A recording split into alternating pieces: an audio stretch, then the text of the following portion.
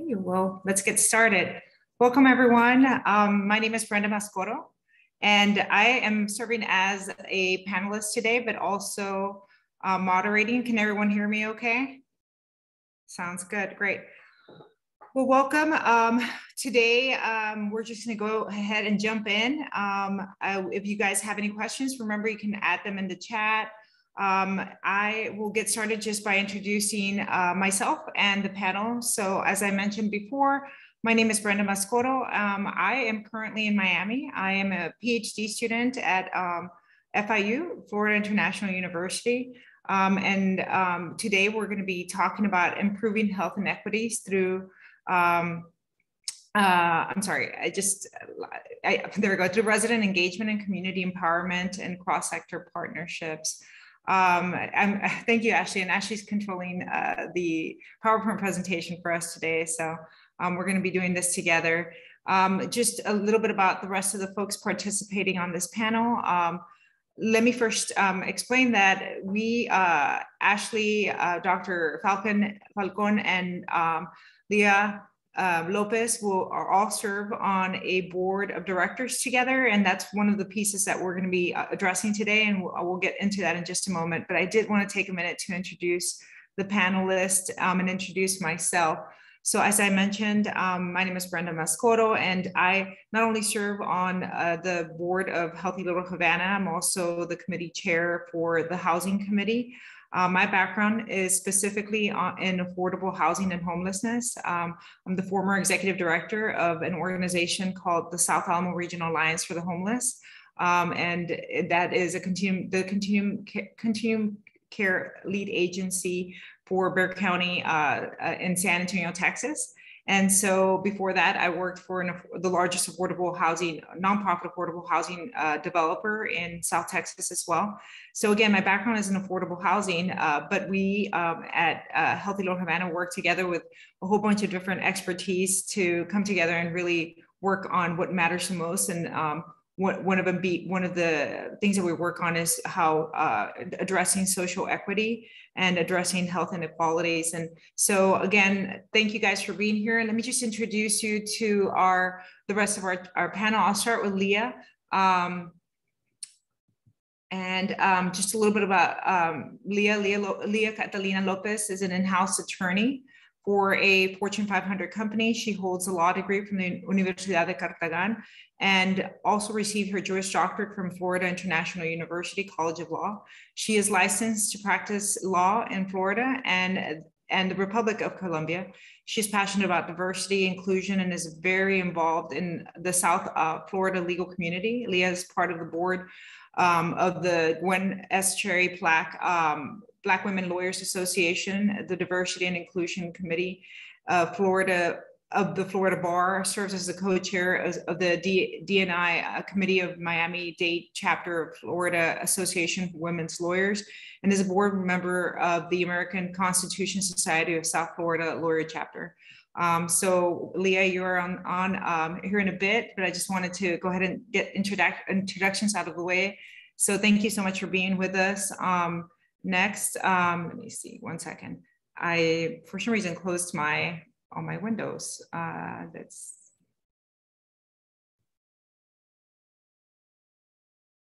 my apologies. There we go. And technology. It's great until it's not. Okay, great. Um, so I also wanted to introduce uh, Dr. Ashley Falcon, uh, our vice chair for Healthy Little Havana. Ashley is an assistant uh, professor at the University of Miami School of Nursing and Health Studies.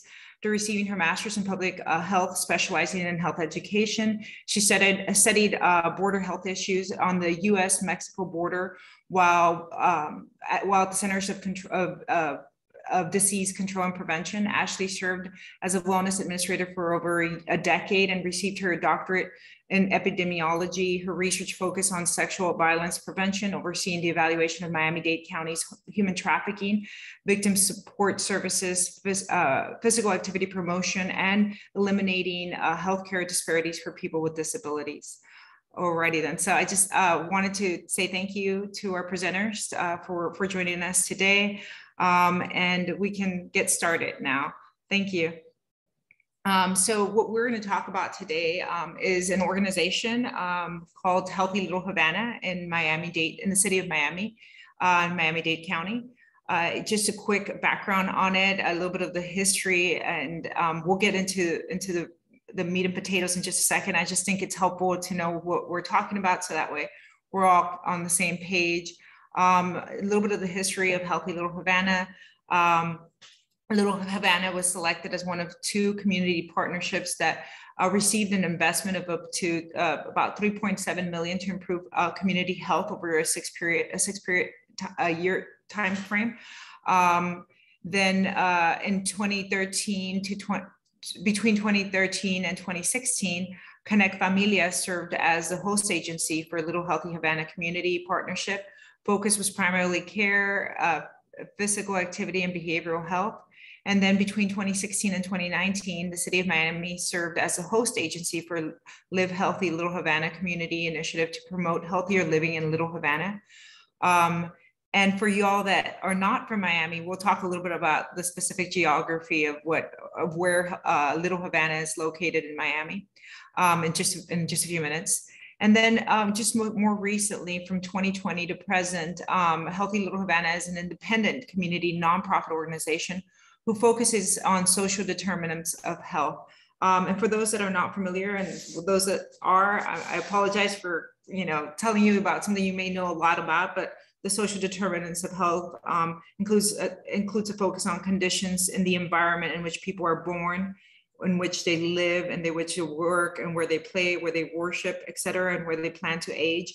Um, and it affects a wide range of our health and quality and life, uh, uh, quality of life and um, health outcomes. So it, we really do focus on those social determinants of health, and we'll talk about it a bit more in just a moment. Um, Righty then. So a little bit more about Healthy Little Havana. Um, before I get that, get to that, I just want to mention that um, the, the Healthy Little Havana as at its state um, is, is fairly new. It's a, a, fairly new, although it has a little bit of a long um, history, the way it's uh, structured right now is fairly new.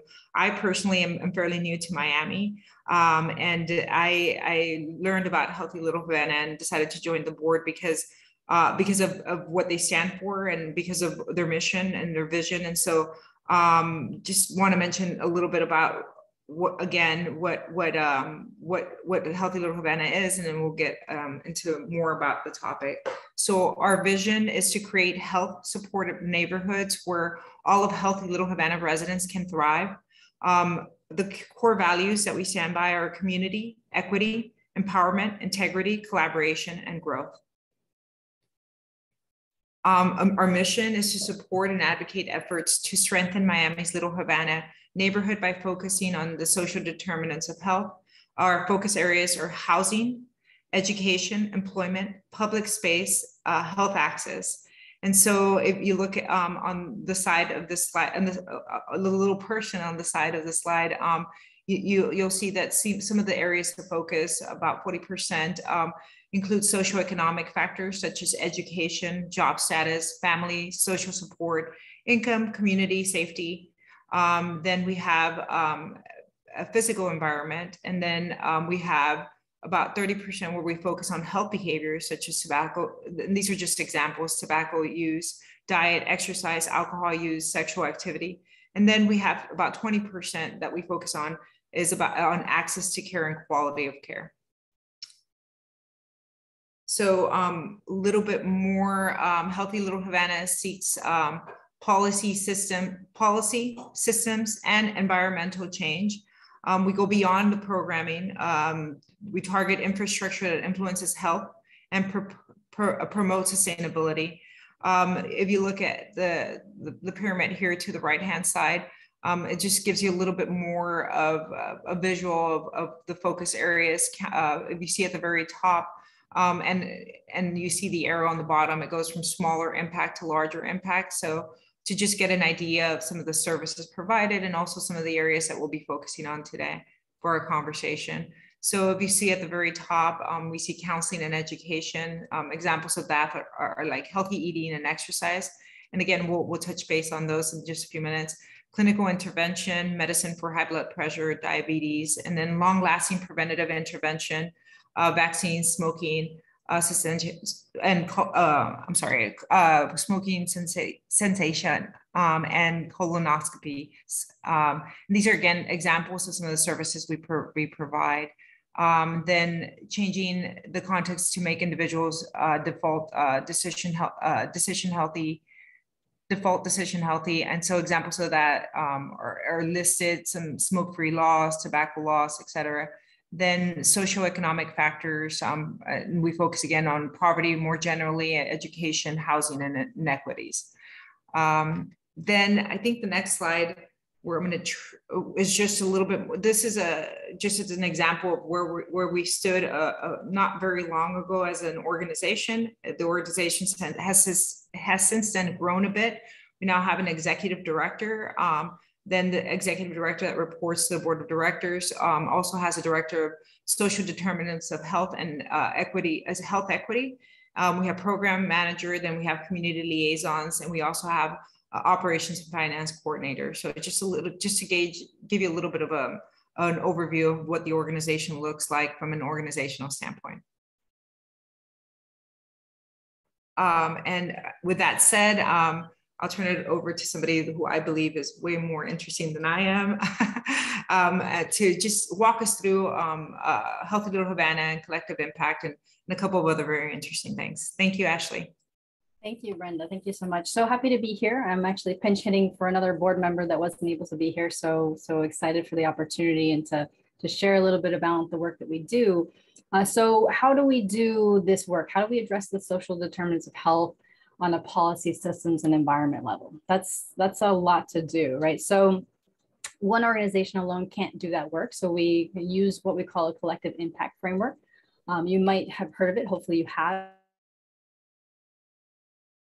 if not, let me walk you through it. So the idea is that there are a lot of nonprofit and you know public organizations, agencies doing this work, but if we're really going to solve these big problems, we have to do it in a coordinated effort. If you look at the, the image right there, you can see kind of individual pockets of excellence where everyone's kind of doing great work and meaningful things, but on a smaller scale and possibly at, at times kind of competing with each other or hindering opportunities or not taking advantage of opportunities to uh, to collaborate and synergize. So the collective impact framework kind of capitalizes on the idea that we have strength in numbers. If we have coordinated efforts, we can really work to more effectively solve complex issues. So we're really trying to have shared goals, strategies, and action plans. So just to kind of give you an example, I co-chair the Public Space Committee.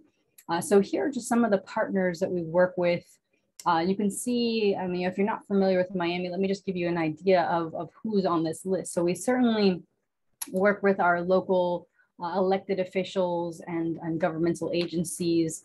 In public spaces, we're doing a lot of work around parks, so parks and recreation, uh, physical spaces with, you know, trying to improve walkability and pedestrian infrastructure and safety, so transportation of public works. Uh, we do a, a, bit of work trying to kind of clean up our environments with solid waste. Um, but you can see a lot of partners in the academic realm, different universities. You can see urban planners. Um, you can see foundations that provide funding sources for things like urban tacticalism.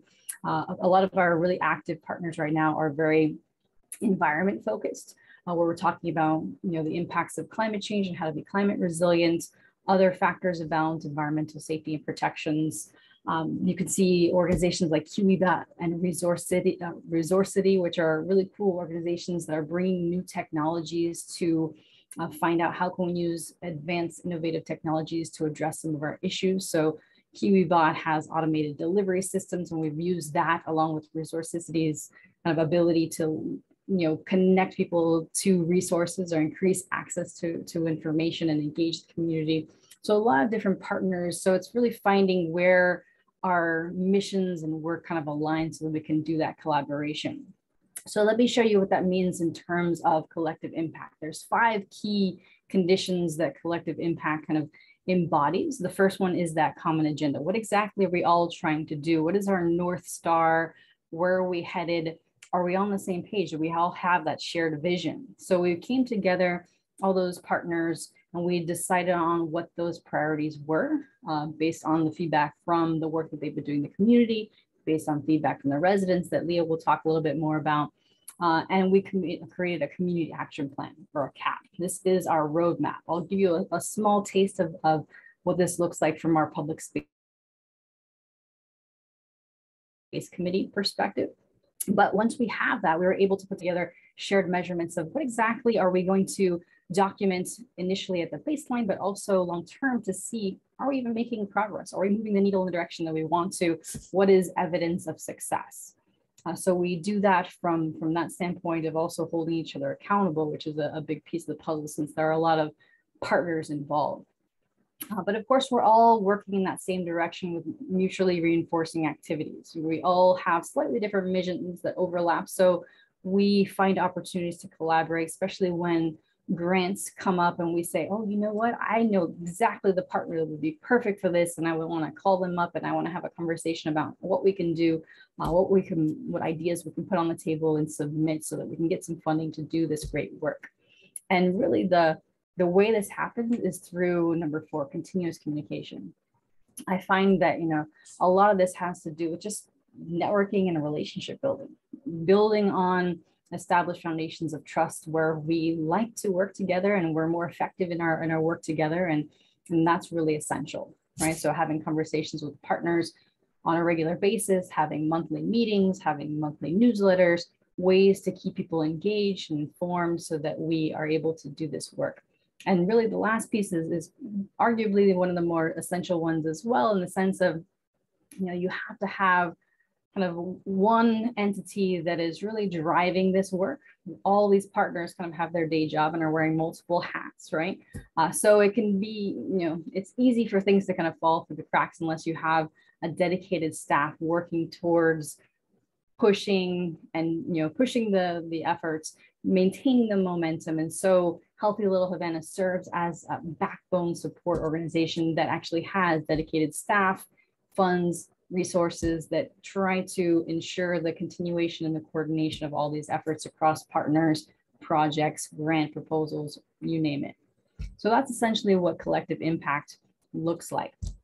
Now, let me talk about a CAP, right? Our community action plan, right? So for, for public space, we, our focus is emotional well-being and physical activity, um, and also creating a, a, a, a physical environment that is welcoming and engaging accessible to all. And this, of course, is something that is always an evolving experience, right? Making sure that we're doing right by the residents, listening to them, adjusting course as necessary. So that's our umbrella goal, what are the, the tangible, measurable items that we're doing within it, right? And just showing you this as an example, uh, just to kind of show you the, the five main areas for public space that we are focusing on based on feedback that we have from partners and residents. Um, but basically the takeaway here is that for each of these items, we have identified measurable metrics. We have data sources where we can find that information, both baseline and then progress over time. We link it up with the, the projects that are, are, are working towards making these adjustments or making this uh, progress. We link it to the partners. We have all this information that allows us to hold ourselves accountable and demonstrate the efficacy of the work that we do. Right. So just to kind of run through really quickly as an example with public spaces, because that's the example we're going to talk about, just one of the projects that we've have worked on. You know, one of the things we focus on is increasing public space. How are we going to prioritize funding for this effort? How are we going to incentivize the use of public space for the public good? How are we going to bring uh, property owners on board into this conversation to get their support since our residents are largely um, renters, which that's a big part of our conversation. Um, so you can see the various objectives in the in the kind of the in you know, black font is the are the projects. If you want to check out our website or ask questions or anything more, I'd be happy to elaborate on them. Um, but other things we focus on are making sure that we have culturally and linguistically appropriate park um, uh, signage, wayfinding to parks, utilization of resources within the parks, we focus on, excuse me, um, just the safety of getting to and from parks. Are people comfortable with whether crime is real or perceived, do they feel safe actually getting out and walking to parks to use those spaces? And once they're there, are they quality parks? Are park features that are safe, that are accessible, that are, are fun for recreation? What are we doing to uh, make sure that we provide that opportunity, that equitable opportunity for green spaces in the community? Not only that, but also reducing barriers to access. We have you know, occasionally found, you know, issues with lack of lighting or issues with permits being barriers, things like that that are brought to our attention that we work on developing policy solutions to address. And is safe routes to common public spaces. So accessing routes to schools has been a big feature, not only parks, but schools. So how can we do that to make sure our youngest residents can do that in a, in a safe way and feel comfortable doing that so that they can be more physically active just going to and from school. And then lastly is one of our kind of bigger project areas, and this is what Lia is going to talk about a little bit about how we do community engagement with Mi Barrio, but this is a focus of how can we improve the aesthetic of the community, right? When I came into this community wanting to do research in the physical activity realm, I learned very quickly that we're not there yet. And why are we not there yet? Because we have issues of illegal dumping and littering that are getting in the way of people wanting to be physically active. So fix that problem first, and then we'll talk about physical activity. So that's one of the things we've done with this project. We're really trying to, to raise awareness about how to properly dispose of things, addressing challenges with why people are forced into situations where they have to dispose of things in an improper way, giving them increased access to local dumps, things like that are the focuses of this project.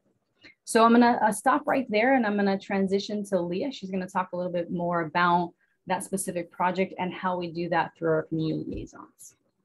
Thank you, Ashley. And I wanna thank everybody that's present um, and the organization for having us. Um, I'm gonna talk about my favorite part of Healthy Little Havana, which is the people that make Healthy Little Havana the great organization that it is, and that is the community liaisons. Healthy Little Havana's community liaison program is designed to engage the community through the community liaisons. And who are they? They're members and residents of the community who have become advocates and champions for positive change in Little Havana. What they do is, as I said, they're residents themselves, but they connect other residents with the nonprofit organizations that we work with, with community stake, with community members, with stakeholders, with local government agencies, to advocate for the community issues. One of the big things that we do in Healthy Little Havana is empower. And we started doing that by empower the community liaisons to become advocates for change, and then they empower the community itself. The CLs also, or how we call them, the CLs also develop training, goals, one-on-one support programs, and execute uh, trainings and programs. They have been empowered to participate in the decision-making project co-design, project implementation, mobilize, mob, mobilizing the community and capacity building. We have the grants, we receive the money, we create the programs, but it's the community liaisons who, as the name says, they liaise with the community to get them to become involved in, in the programs that we're supporting. Um, but what community do, do they serve? I want to tell you a little bit more about Little Havana. And Ashley, if you can move the, to the next slide. Little Havana, um, or La Pequeña Havana, I'm a resident and I want to tell you something about the statistics of the community. The community that we serve has over 80,000 people living here. About 92% of them are Hispanic, 33% are foreign born, and it's estimated that of that foreign born, born 46% do not have US citizenship. This is important to know because we need to highlight uh, the needs of the community. About 50, 55% of the community is undocumented, and that goes to what their primary needs are. The medium household income of Little Havana residents is 22%, 22,000 uh, a year, while the county medium uh, household income is 50,000 a year. Uh, the program that we're going to talk about, Porque Amo Mi Barrio, Cuido Mi Barrio, for those who are not uh, Spanish speakers, because I love my neighborhood, I take care of my neighborhood. Um, it was developed and implemented with several project partners um, in Florida. And the project is about uplifting the community and focusing on empowering the residents to join the city, the partners in making the neighborhood safe and healthy. If we can move to the next slide. Awesome. And then the next one. Um, Healthy Little Havana and its partners are working in the widespread issue of littering and illegal dumping, which adds stress and discomfort to the residents in their daily lives. You see it every day in Little Havana. People come from other places to dump their um, to dump their trash essentially, and it's the residents who become affected. The CLs have done training, help the community voice their concerns to public officials, organize cleanings in Little Havana, and encourage the discussion of issues that affect the neighborhood. These little posters that you see on the screen are writings by residents themselves in one of our projects and one of our community events. We ask them through the CLs and when we're present there, we ask them, what do you think the community needs? What are the issues related to legal dumping that you want to see change? Uh, what are your ideas? So we're essentially engaging the community and empower them for them to raise their voice and make that voice heard. Um, if we can move to the next slide, those are a little bit of examples of the, the work that we have done in the community. Um, and we have empowered the community, the residents through the community liaisons to not only be part of the change, but engage nonprofits, civic leaders, and politicians and county organizations to care about this issue and to hear the residents. So we not only do cleanups, we do um, just meetings with the residents to talk about them. We encourage them to access to town halls by, by uh, politicians, to encourage them to write letters, to just become active and involved members of the community.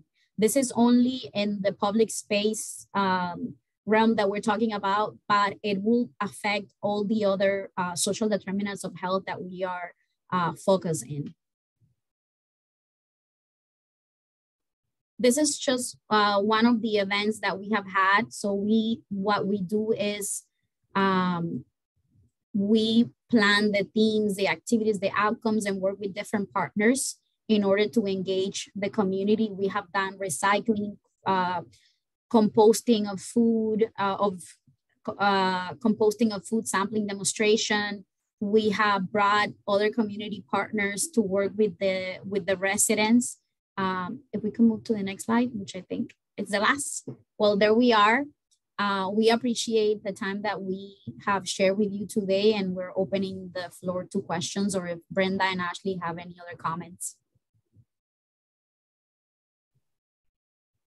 No, I just wanted to say thank you again, Lia. Um, I, I, have to say that I always appreciate your passion and um, where you're coming from. And um, I am very interested if anybody has any questions, um, we're happy to take them at this point.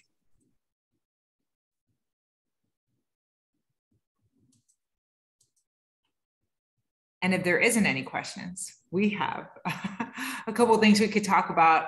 We uh, we thought our, our, presentation may run a little long, and it didn't. So we were talking about. We took out a whole bunch of things that we wanted to talk about, and um, and and if as we're talking, if anyone um, has questions, I was about to say that. Thank you, Jennifer. Um, just if you think of anything you want to add it in the chat, or if you just want to come on, raise your hand. Um, we're happy to answer those questions. Um, I see that there is one question. I'll answer it and then uh, we can answer it and then go from there.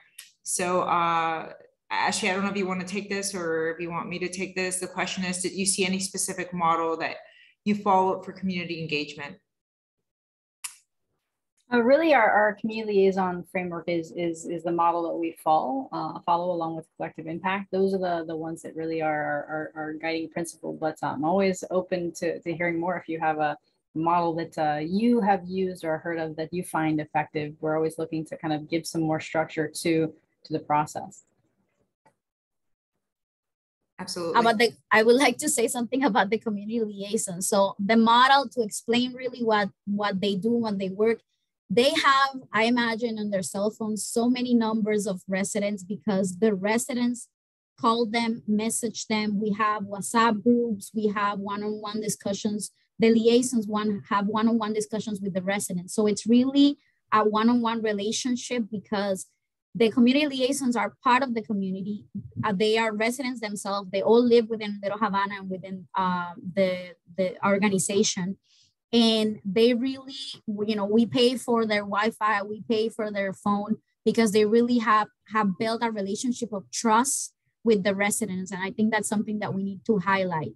Uh, not only, yes, they provide information, they encourage, but the fact that, you know, they've been working with the community for about since the inception of the organization, some of them, and even before. I think uh, Brenda explained some of the history of the organization. So before, even before we were a standalone organization, we had community liaisons when we were hosted by other uh, bigger organizations. So the work that they have done has, you know, spanned for about five years and the level of trust that the residents have in them. That's why, you know, I wanted to say they, they are our biggest assets. They are you know our very valuable employees. And part of the the family that uh, healthy little havana is. So the model i don't know if that that's you know a name of a model. I'm a lawyer so i don't know a lot of a lot of things um, regarding public health but i have to say that it's a personal relationship that they have to engage the community that's when that's why when the community liaisons go to the community and explain something and reach out to them and talk to them about, well, we have this event, this is what we're working on. They do a job of education about the social determinants of health, and they do a job of empowering the community itself, the residents themselves, to advocate for those issues. I think one of the biggest barriers that we have with communities in need is information. And that's what we try to do in Healthy Little Havana. This isn't the this is the information that it's gonna help you. This is the information that's gonna uh, improve your life, and this is how we're gonna help you. Yeah, and then I'll just add to, to what Lee was saying because she, she was making me think of other things. Yeah, I don't have a like a set model per se because that doesn't that's like you know not my background, um, um, but definitely number one, as has been alluded to, one of our guiding principles is hiring within the community. So that is number one. There's nothing like having an insider doing this work and hiring uh, residents a Little Havana to be the community liaisons, having leadership There are also residents like Lia is very important to us. Um, another challenge has always been finding where to reach the community.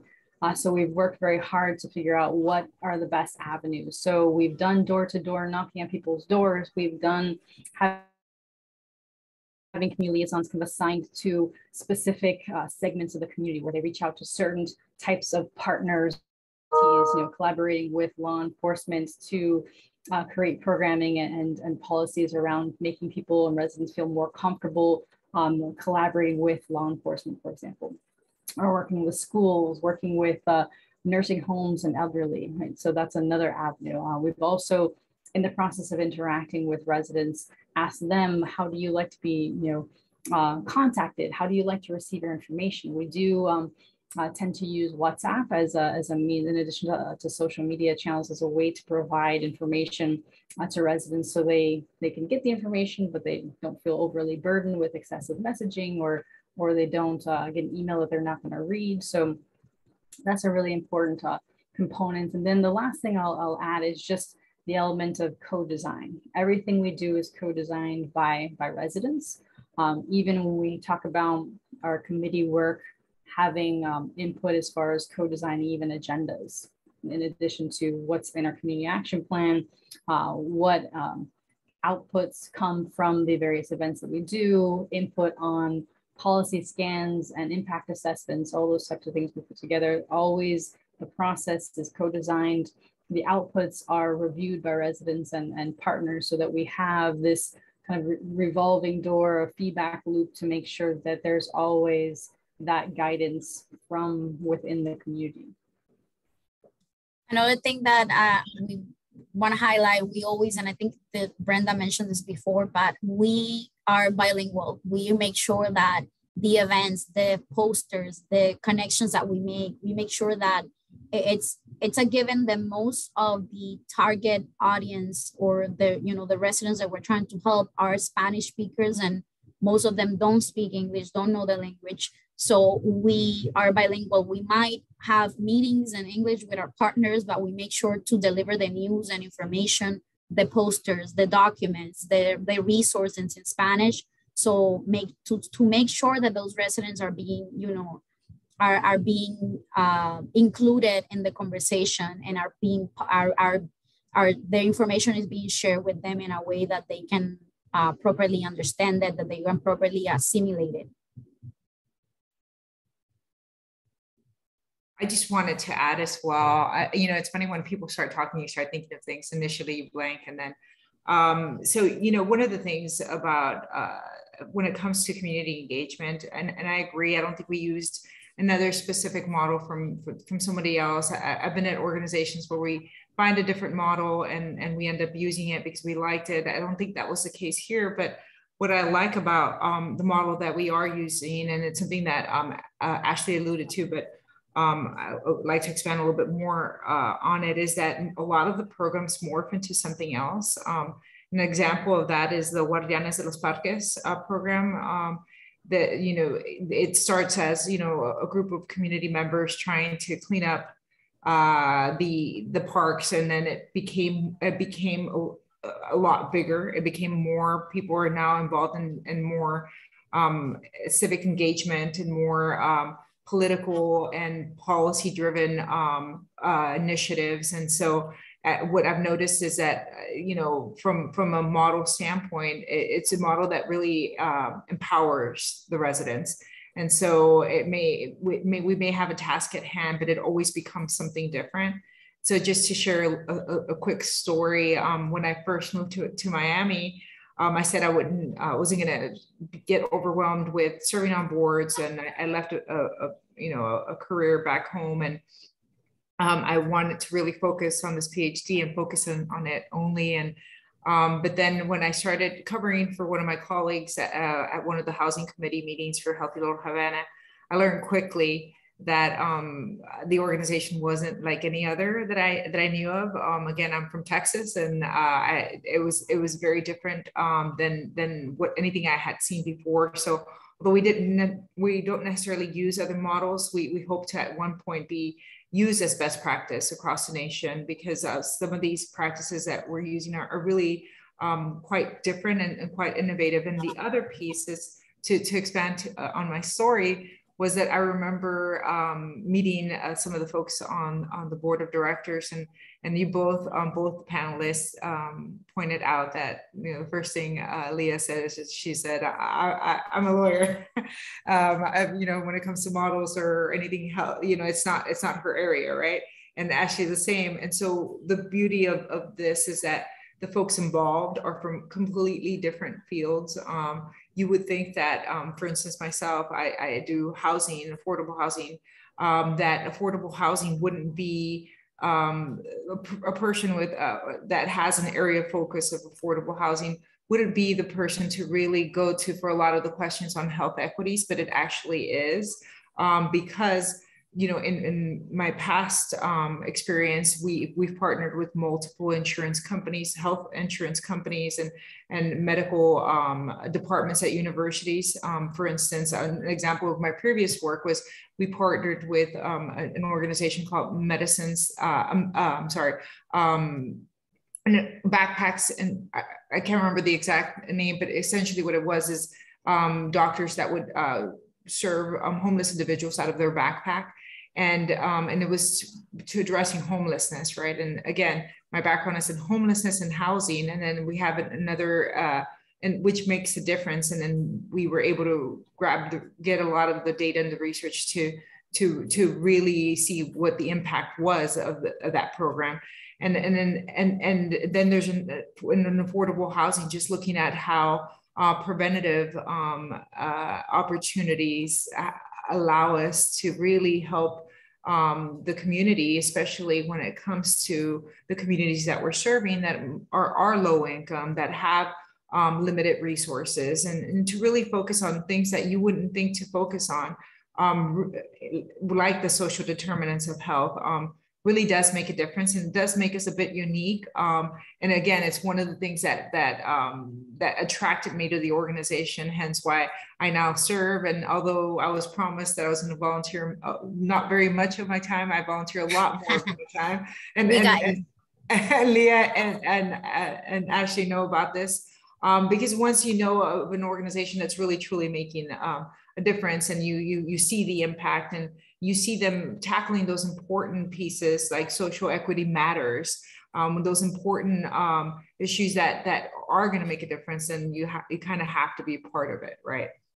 And so i know it's a long way of answering that question but um, but that brings us to another topic that we, we decided to kind of cut from the presentation that I think is important is that we all come from different um, backgrounds um, and, and we um, may, uh, may have a, a very different audience here uh, from you know both practitioners and academics and but like for instance uh, you know epidemiology and and and law and housing and and policy all those things do do matter. So I, I wanted to just kind of talk a little bit about ourselves. And then if you guys have any questions as we talk, it's just about the backgrounds themselves, um, about how you feel that your background, Ashley and Lia, um, really put you in a position to to serve not only the organization and the and to add to the collective impact, but also um, how it uh, how how how it helps you um, having that that that different background. So I,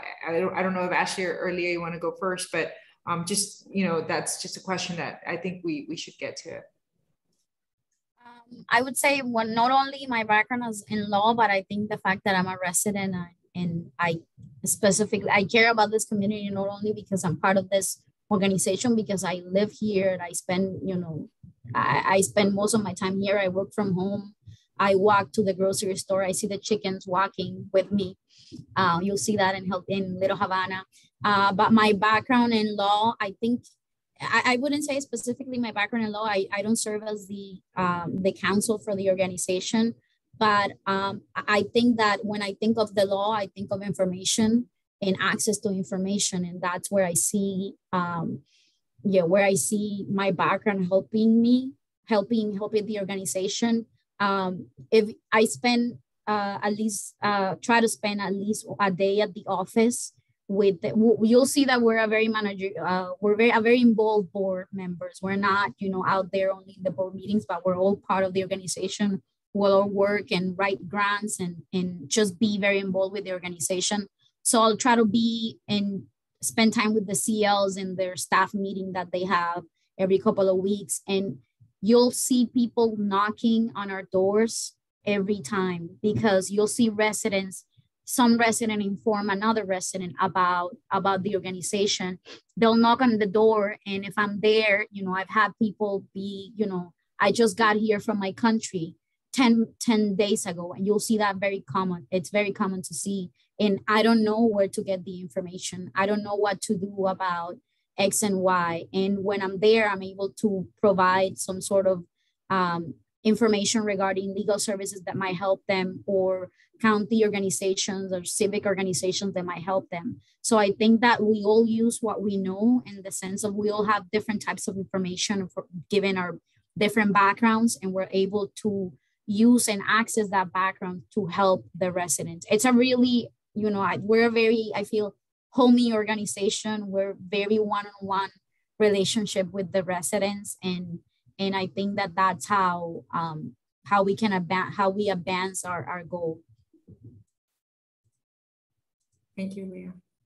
Sure, I'll, I'll, add to that. So, so my my background is public health, and I I did not know what collective impact was prior to Healthy Little Havana, and it was a great opportunity to see it in action. You know, for me, it's you know educational for me and for me trying to educate my students about kind of what what on the ground work looks like and and that i think is something that i'm able to to you know provide as an academic partner so i oversee our public health practicum students which are senior level students that need to do community work um, and kind of develop their sense of civic um, self and so it's a really awesome opportunity because you have students that are, are trained in program implementation, behavioral change theory, and, and whatnot that are, are, needing to work with community, that want to work with community.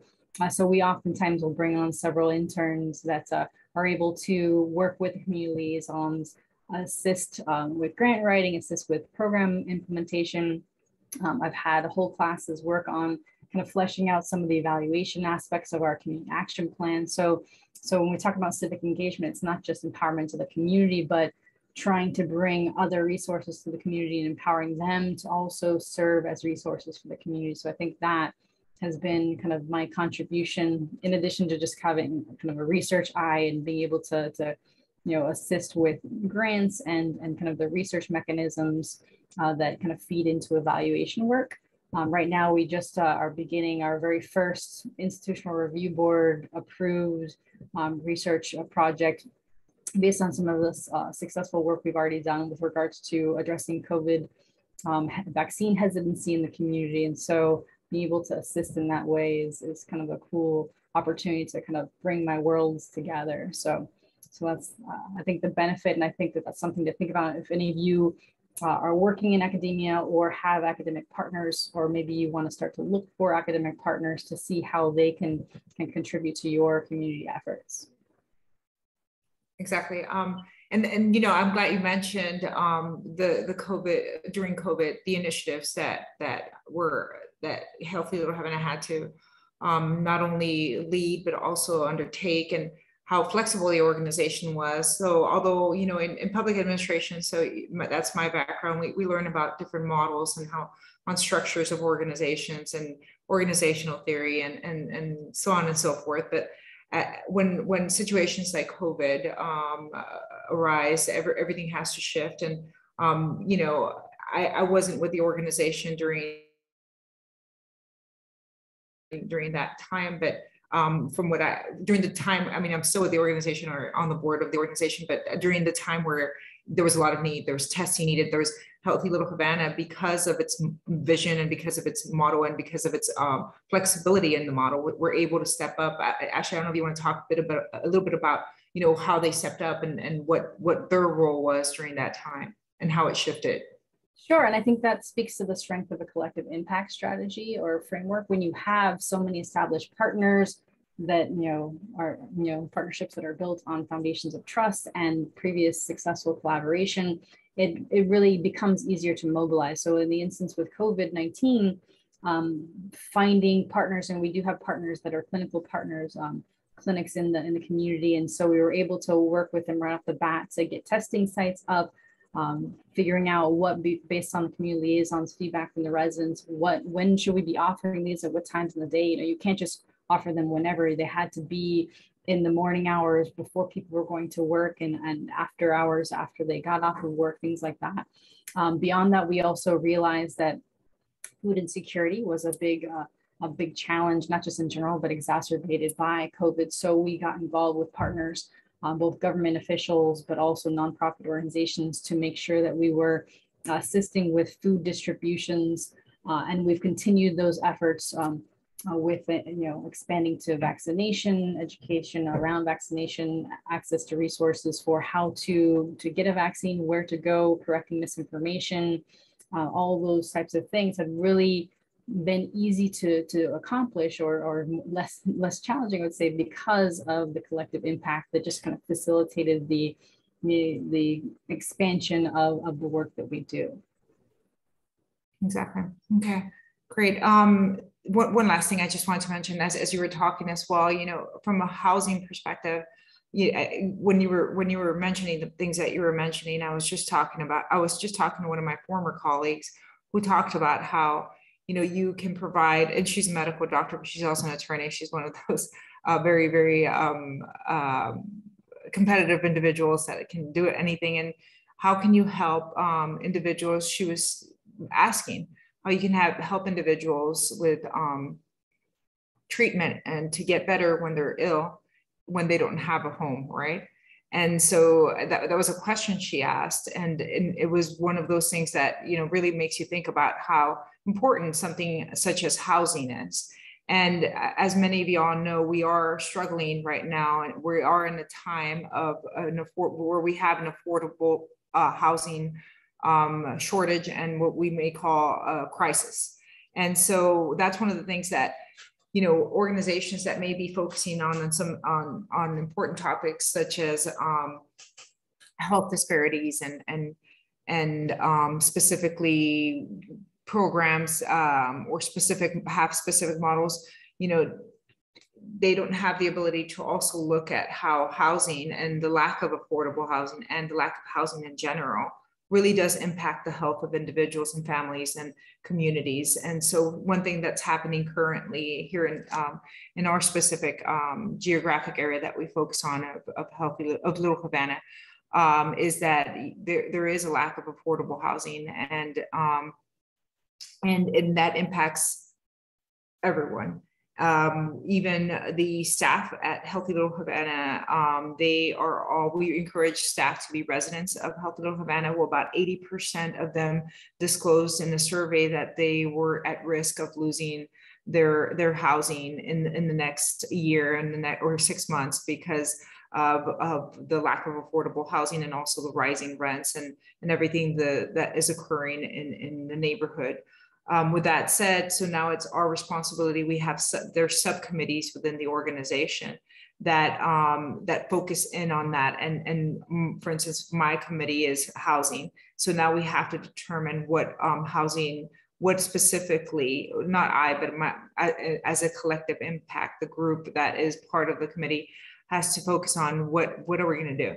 And and that's our responsibility for that specific group. And at the end it all comes together where we focus even though we're focusing on that and and and ashley's the the chair of public space group she may be focusing on that. At the end of the day it all is comes together and it because it's all all all impacts each other right? Like i said before that question that was i was asked well, how do you treat someone? Um, and the example of this medical doctor, also attorney that she shared with me was this one patient um, was telling her that she go, he went to uh, public restrooms to try to change his his um, his um, his uh, what do you call it? Actually, I'm sorry, the the gauze and all that. It's, there's a term for it.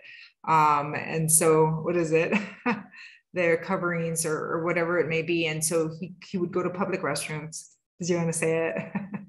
well, uh, I thought you wanted to say it. Uh, there's a there's a term she used, a medical term, and so she he would use um uh, you he would go to a public restrooms to try to get that done, but it wasn't very he wasn't very successful because um because of a couple different reasons, and at points it was even worse because of the sanitation um uh sanitation um uh difficulties that he would face. And so, again, all things that are very important. People need to have homes, people need to have medical care, people need to have a community. So, um, again, that's one of the pieces that we really focus on is how we bring all those important components together. Um, okay, I know we are kind of closing up on time. Is there any final thoughts um, for any of the panelists, Lia, Ashley, or any other questions anybody would like to ask? Um, we have about five minutes before we need to pretty much wrap up. I mean, just as a final thought, I mean, in all work that I do in, in this, I mean, it all starts with, you know, talking to people and listening to what they have to say, and then, you know, finding common ground and, and, and moving together from there. I mean, so, so if you have any, any follow-up questions about how we manage to do the, this work, happy to, to answer those questions. You have our, our emails um, from the slides, but otherwise just happy to, to answer any questions in the future via our emails there. Um, but yeah, best of luck. Uh, if you're dropping you just out of curiosity or, or if you're doing this work either way, best of luck to you in that, in that process. Okay. Lia, do you have anything you want to close up with? Or you no, I was going to say, well said, Ashley. Thank you so much. Okay, great. It looks like um, we're giving everybody about three minutes of your life back. Every time I, I, I always, I always try to give people at least two minutes of their life back if we uh, finish a meeting a little bit early. So um, I, I want to say thank you to everybody for joining. Um, we really appreciate your time and we hope that you gain something out of the presentation. And, um, and again, thanks so much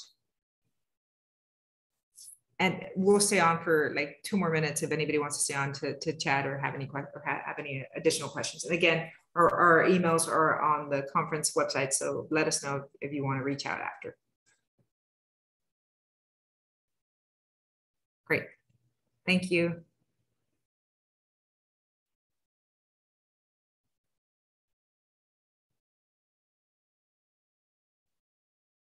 Ben, are you good? You're good to close out and do whatever it is you need to do. Our volunteer, Ben. He, he's got multiple things going on, I'm sure. I'm sorry, I'm, I'm, I'm working on multiple rooms. Oh, yes, yes. um, I just was saying, we're good. Thank you so much. We just ended. And so, Very good. So I, I- I've recorded this and it will be posted and eventually uploaded to YouTube. perfect. Thank you so much, Ben. You're Bye. have a disconnect. Bye, Ashley. Thanks so much, everyone.